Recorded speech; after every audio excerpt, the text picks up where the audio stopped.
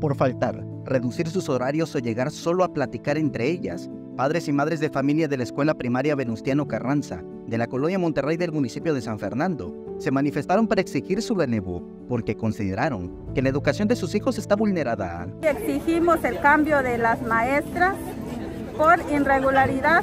Las maestras no, no quieren enseñar, no llegan a, a clases. Desde mayo estamos ya de, pretexto de del plantón. Ya no quisieron enseñar y ayer llegaron las maestras, pero piden muy, eh, llegan a exigir y nosotros como padres de familia no queremos a esas maestras porque si no quieren enseñar, no, no, ¿para qué lo queremos?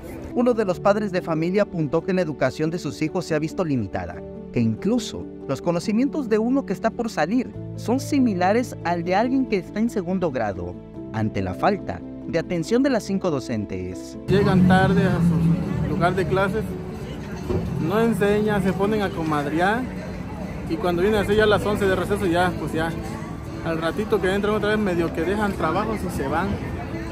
Entonces ya los alumnos han perdido mucho, la escuela está de muy baja calidad últimamente, porque los niños que salen, salen todos ineptos, no tienen conocimientos básicos, hágase de cuenta que una, un niño de sexto, quinto grado, está como si tuviera uno de segundo. A las afueras del Palacio de Gobierno se concentraron. Una comisión fue atendida, pero aseguraron que la atención no fue suficiente, pues la exigencia es que las retiren y sustituyan por otras que sí tengan actitud para educar. Para que cumplan, porque, lo, porque nosotros nuestro trabajo un día que no hemos no me lo pagan. Como hoy no fui a mi trabajo, puedo perder mi trabajo por estar aquí y son culpa de los maestros que no quieren estudiar. Igual también ellos, el día que trabajen que se les pague y los días que no, que no se les pague. Finalmente, dijeron que sí son bienvenidos aquellos docentes que tengan interés en educar a las y los niños. Hay muchos maestros que, que desean tener una plaza y allá necesitamos maestros buenos y que le echen ganas enseñando. Samuel Revueltas, Alerta Chiapas.